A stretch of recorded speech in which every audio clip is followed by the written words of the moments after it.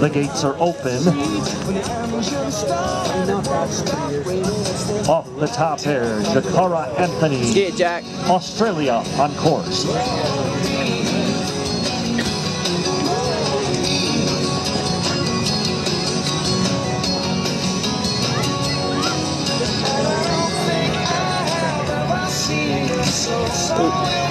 Yeah, Jack.